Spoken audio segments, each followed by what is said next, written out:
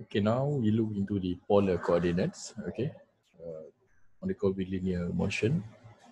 Okay, for the polar coordinate, uh, you can see uh, there are actually a lot uh, of other example.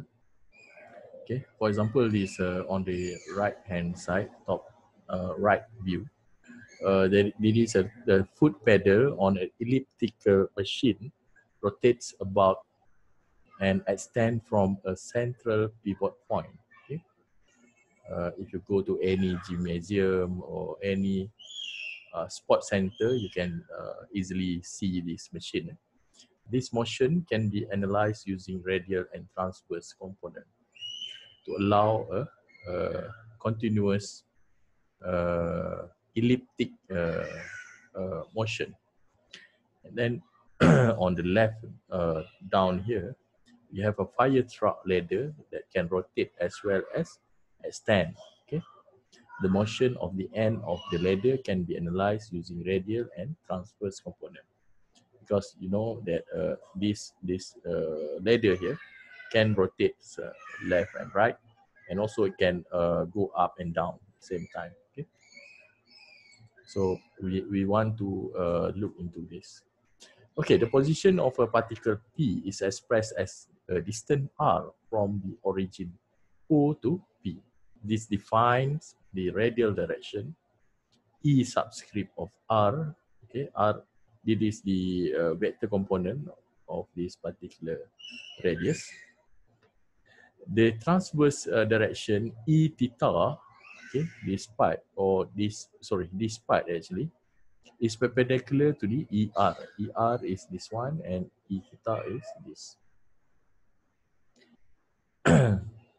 is different from uh, what we have uh, looked before. Uh, previously, we have the tangential direction, but now we have a, a direction that is uh, from a point, certain point O. Okay, uh, we have uh, R equal to R E R. Then we have the particle velocity vector, where we have the radial component as well as we have the uh, theta component of it. Okay, r dot, and then we have r theta dot. Okay, and the particle as uh, this is for the uh, velocity, and this one for for the acceleration acceleration vector. We have r uh, double dot minus r theta dot square, and on the other side uh, for the uh, theta component, we have r theta dot plus 2 r theta, uh, uh, sorry, 2 r dot uh, theta dot. Okay. We can derive the velocity and acceleration relationship by recognizing that the unit vectors change direction. Okay, uh, we have here r uh, this this part. Okay, and then we, we uh, differentiate uh, this this part here with respect to theta. Okay der over d theta or e theta. And also uh, we differentiate again uh, this part here d e theta over d theta. Then we have uh, minus er okay you can see, you can see that uh, these two then we have uh, d we differentiate this part again uh, with respect to time in this in this case now uh, sorry. Now uh, just now we we do it uh, with respect to theta. Now we we differentiate this part into uh, time dt. Okay we have uh, d er over d theta times d theta over dt we, we can expand this term and therefore we have uh, e theta times d theta dt. Okay. And then we have uh, uh, this term here. Okay. dE theta over dt is equal to dE theta. Uh, we can expand this part also. Theta over dt times d theta over dt is equal to uh, minus ER. R d theta dt. Okay. and this is the, the term for the velocity. Okay. So uh, the velocity is uh, d dt for this r e uh, subscript r where uh, like previously we we uh, use uh, we differentiate part by part. Okay, first we differentiate r, then we differentiate uh, er, like so. We do uh, one part and then another part. Then we can uh, expand it. Okay? Then we have this uh, r dot uh, er plus r theta dot a theta.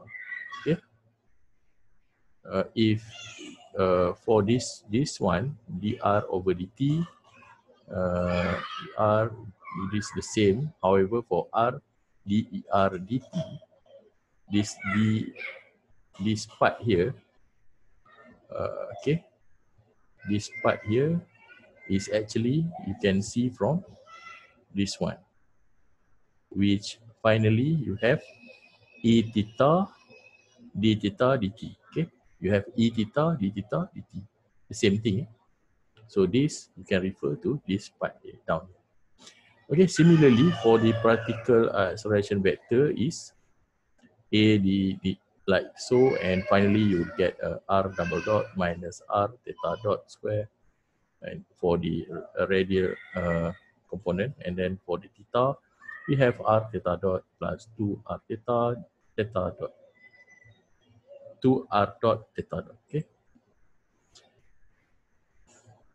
Okay. Um, when the particle position is given in cylindrical coordinate, it is convenient to express the velocity and acceleration vector using the unit vector. Okay.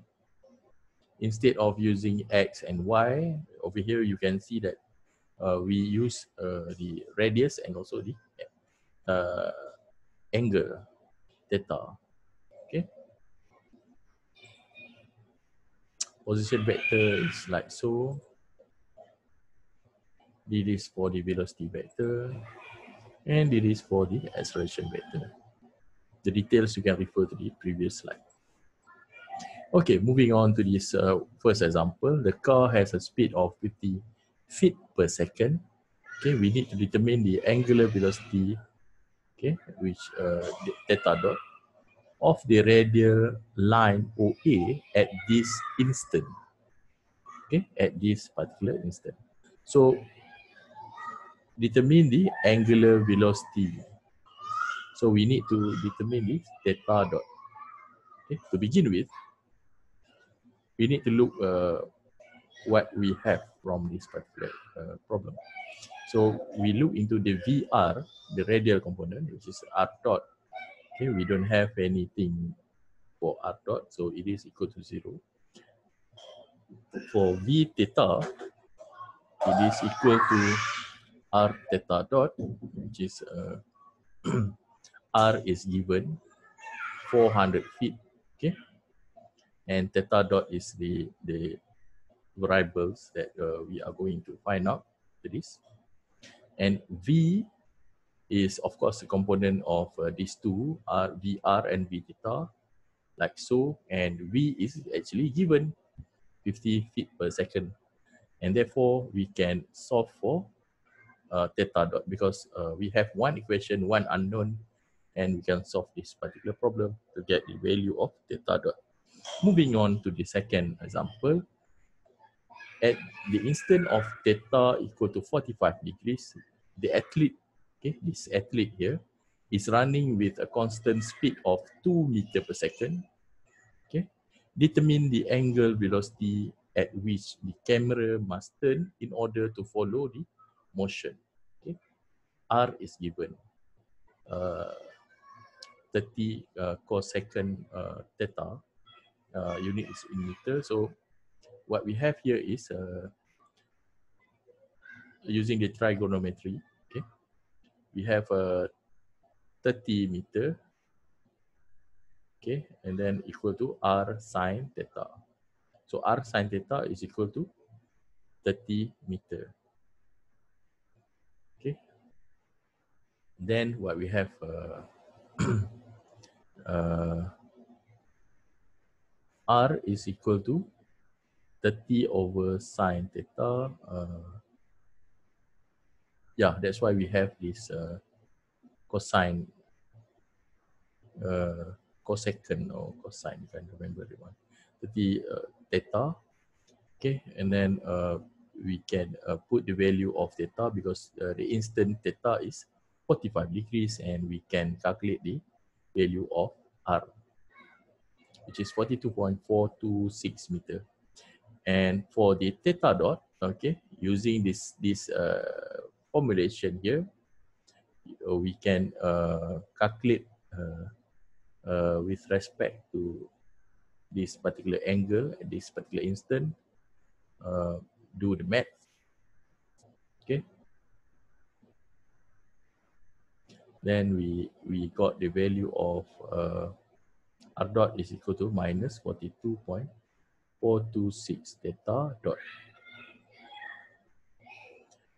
Okay, for the uh, VR, the radial component of the velocity, uh, we know that uh, VR is equal to R dot.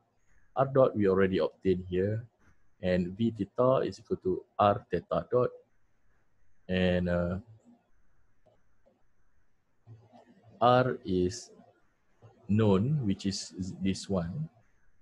Okay, this is our R and uh, multiply by theta dot. Okay, now uh, the problem become uh, much easier where uh, in this case we can see that uh, the total or the magnitude of the uh, speed is uh, 2 meter per second. So we know that one.